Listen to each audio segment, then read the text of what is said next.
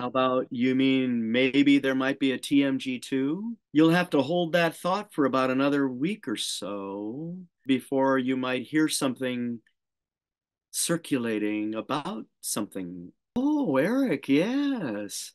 In fact, I just texted Eric. Let me see. What did Eric say to me? Eric, okay, you do this song, this one, and this one. I'll do this one. This sounds like more like the first album song, da da da da da. I don't want to be spilling the beans, am I?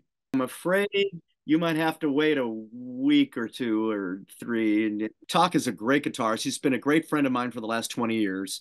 I mean, we, you know, he comes to our shows when we're in Japan. I go see him. He lives in LA also. He's got a house there. I mean, he's just, and Tak is just an amazing. Look, man, I've been so blessed to have played with some of the greatest guitar players. I mean, Brad Gillis, you know, Jeff Watson. I mean, Neal Schon, you know, uh, Doug Aldrich, you know, with the Saints um, you know, Ted Nugent, Tommy Shaw, you know, Tak Matsumoto, man, Tak is, poof, he's an amazing guitar player, amazing songwriter, and, and and a producer and everything. He's just, yeah, he's something else.